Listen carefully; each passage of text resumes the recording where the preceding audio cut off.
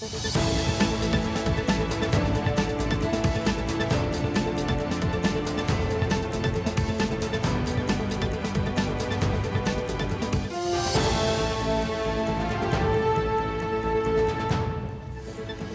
Здравейте с новините по света и у нас. Жълт код за опасно време в почти цяла северна България днес. Синоптиците предупреждават за очаквани валежи от сняг и дъжд в 12 области на страната, като снежната покривка в планинските райони ще достигне до 20 см.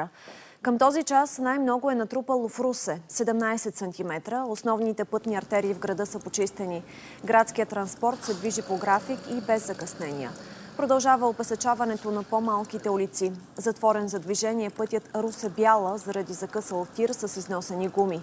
В района на Дунав мост друг тежкотоварен камион е аварирал, но пътят остава отворен. Нормално при зимни условия е и движението към Варна. Няма данни за населени места без ток и вода. Подробности очаквайте в следващите емисии. Засилени проверки за студентския празник днес в София и в планинските курорти. Общинските власти и полицията по места ще следят дали се спазват противоепидемичните мерки и няма да допускат събирането на повече от 15 души на едно място. Тази година, 8 декември, не напълни курортите с студенти заради пандемията. Почти всички резервации в хотели, къщи за гости и хижи са отменени. Ресторантите и заведенията остават затворени според заповедта на здравния министр. Санкции грозят нарушителите от 300 до 1000 лева за участник в нерегламентирано събиране и от 500 до 2000 лева за собственик на обекта. 2764 нови случая на заразени отчита единия информационен портал днес при направени 6260 ПСР теста. Това означава, че над 44% от пробите са положителни. Най-много случаи са регистрирани в областите София, Пловдив и Стара Загора. Излекуваните през последните 24 часа са 3370. В болница остават повече от 6800 пациенти, 523 от тях в тежко състояние. Починалите за деня са 213. Великобритания започва масовата вакцинация срещу COVID-19. Лондон одобри препарата на Pfizer-BioNTech и в рамките на тази седмица около 400 хиляди души ще получат първата доза от него. Сред първите, които ще бъдат вакцинирани са хората над 80 години и служителите в домовете за възрастни. Следват хората, които се борят с инфекцията на първа линия и тези, които са над 75 години. Вакцината на Pfizer-BioNTech е двукомпонентна и във Великобритания вече са доставени около 8 800 хиляди дози от нея. 21 дни след първата доза се поставя втора.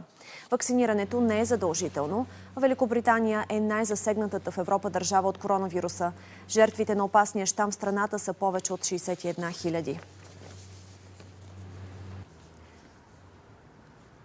Ситуацията остава тревожна и в други държави. Френските власти признаха, че е много вероятно строгата карантина да остане в сила и след 15 декември.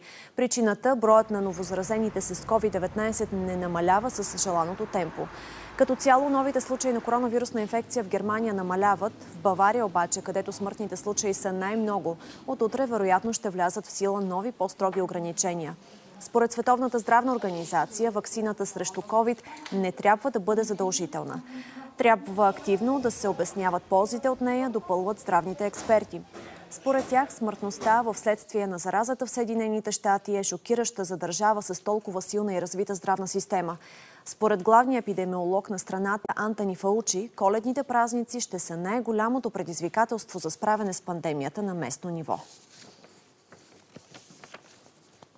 Коледно настроение за финал грее на една от най-големите елхи в света, тази край италианския град Губио. Дървото е разположено на хълма на близката планина и представлява светлинна инсталация. Тази година елхата е висока 750 метра и широка 450, а светещите елементи са свързани с малко над 9 км кабел. Над дървото има и звезда с дължина близо 1000 метра. Обикновено запалването на светлините е повод за многобройни и шумни празненства в малкото градче. Тази година обаче заради COVID-кризата събитието беше предавано на живо по социалните мрежи. А посланието му е за светлина и надежда през идната 2021. Още проверена информация ще откриете на сайта ни BNT News.bg, както и в мобилното ни приложение. Остана да разберем и повече за снеговалежите в страната и конкретно в северо част на България. Добро утро!